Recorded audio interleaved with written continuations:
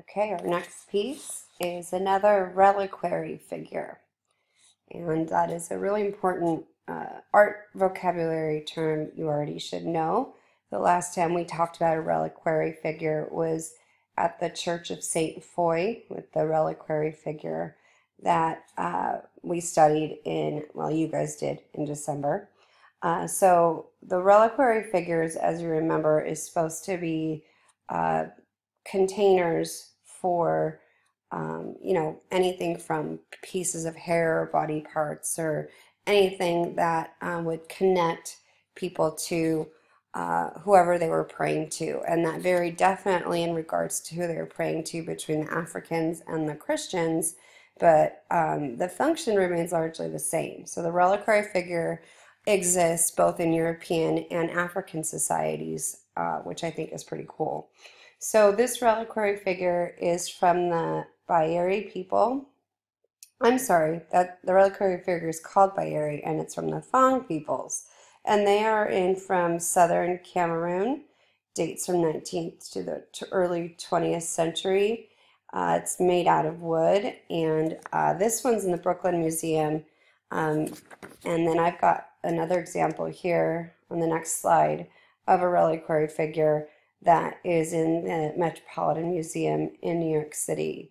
And um, I just wanted to kind of show you the, um, you know, the, they're different. This one's actually a female reliquary figure, um, even though we see heavily muscled arms and uh, we see heavily muscled legs, you know, wide feet, but the breasts here are obviously going to distinguish it from the one that is on the list for our course of study.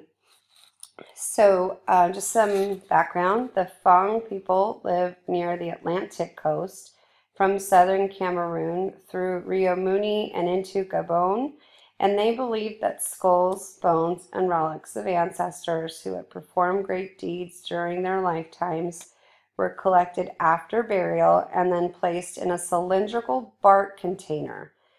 That bark container was called the uh, Nsek Bieri. It's N S E K hyphen B I E R I. And that was preserved by the family. And then deeds honored during a lifetime included anything from victory in warfare. They also celebrated killing an elephant, which is horrendous to me, but it's a different culture.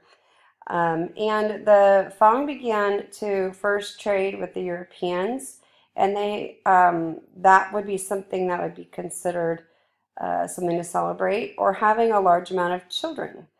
Another one could be founding a particular lineage or community.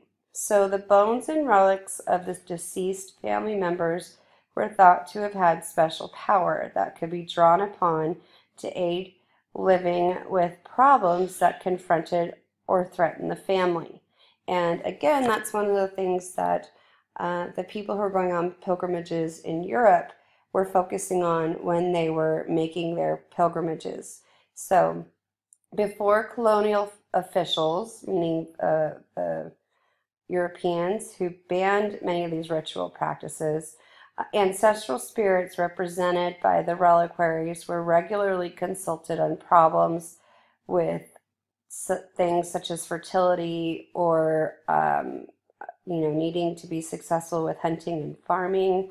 It was also used as a point of focus for meditation uh, that would help connect the ancestors and the living. The Fang placed a wooden sculpture called an Ima Byeri on top of the container holding the relics. So the statue that we're seeing in the round would have been on top of the box that held the relics. The function of the sculptures were to be points of contact for ancestral support and veneration, but also as guardians to protect the relics from malevolent spirit forces. Byeri were carved in a number of different forms and styles, as I showed you a different style earlier. Some had large heads and long necks that are secured into the lid of the container, which represents the ancestral body. Other Byeri were created as full figures with carefully arranged hairstyles, fully rounded torsos, and heavily muscled legs and arms. Now, there's been some disagreement. Experts have argued that Byeri and the Fang culture aim to achieve balance between opposing forces of chaos and order, male and female, pure and impure, powerful and weak, but that's not that hasn't been confirmed. The Fang value an attitude of quiet composure, of reflection and tranquility. These qualities are embodied in the symmetry of the Byeri, which communicates calm, wisdom of the ancestor, while also instilling awe and even fear in those not initiated into the Fang religion. And I've got another short video that I want you guys to watch. So I'm going to click on this and get it started soon. I hope. Okay, there we go.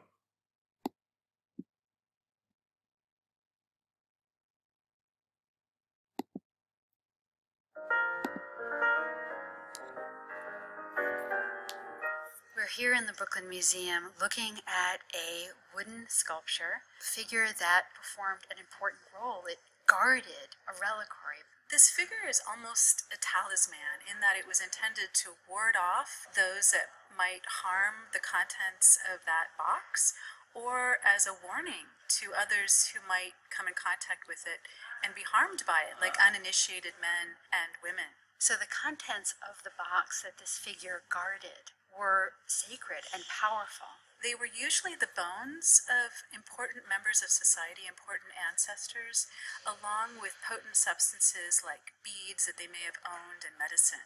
So, who constituted a great man for the Fang people? A very high status, noble person who had lived a long and good life.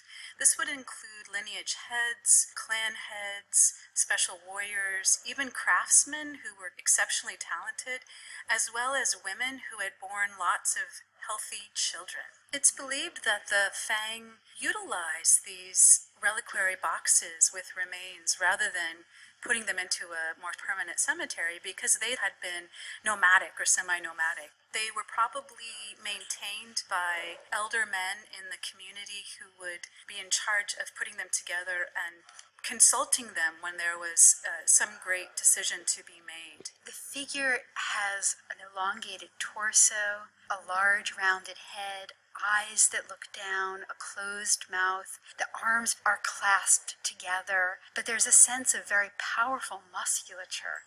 So there's a balance between a figure that has a sense of calm and contemplativeness, and at the same time, real power and strength. It's almost as though the figure has this coiled up energy, this vitality that's ready to spring forth if it was needed, but otherwise retains a very calm, dignified appearance. The top of the head is enlarged. For the fang, we see an emphasis on the head, particularly the coiffure, and the tubular nature of the limbs and the body.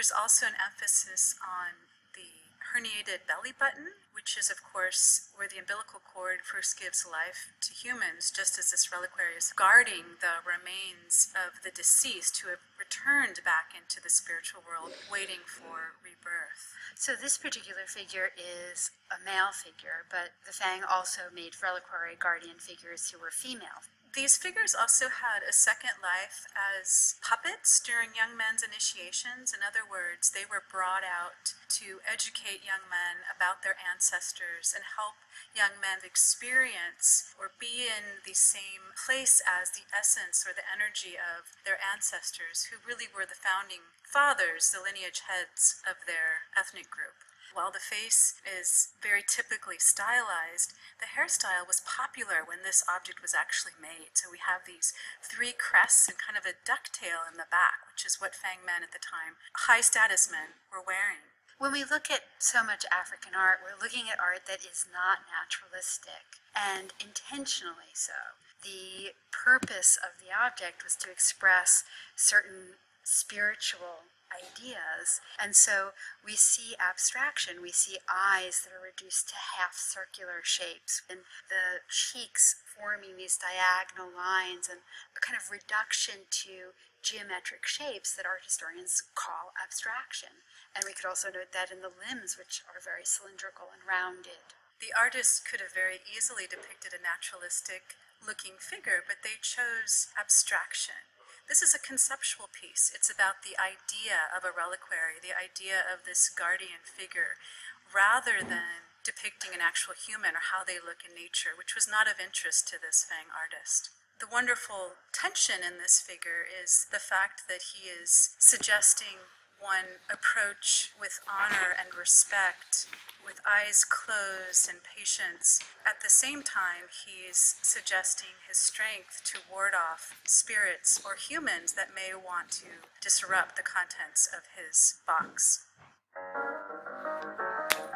Okay, so that is the Fang Byeri figure, and um, it uh, is going to come up, I mean, multiple times. Mostly, I can see this being a piece that you would do a comparative essay for uh, the reliquary figure of Saint Foy with this reliquary figure. So um, we will talk about that type of stuff when I return to work. So uh, one more piece to go and we'll be done.